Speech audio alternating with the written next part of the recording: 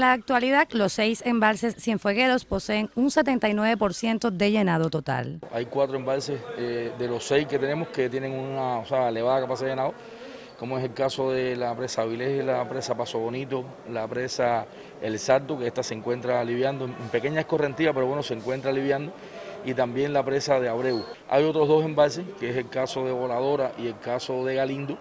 que su capacidad de embalse es menor y bueno, eh, eh, será beneficioso para ellos porque bueno, eh, con la lluvia que están pronosticando deben tener beneficio. Ante las fuertes precipitaciones que pudiera dejar Elsa a su paso por el territorio, Especialistas de recursos hidráulicos en Cienfuegos tienen activado un sistema de alerta temprana para accionar a tiempo en caso de emergencias.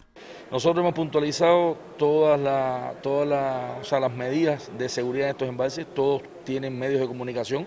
para el sistema de alerta temprana, todos tienen grupos de electrógenos de emergencia para la operación de los hidromecanismos, o sea que eso es favorable y tiene todo montado todo un sistema de vigilancia que nos permite la operación y la toma de decisiones eh, oportunas. Nuestros embalses son muy seguros, y han soportado eventos extremos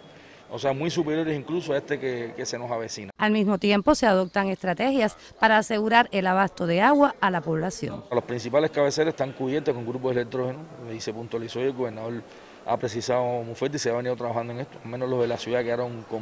quedaron listos y bueno, deben operar ante situaciones extremas, o sea, eso también es una de las cosas que se puntualizaron.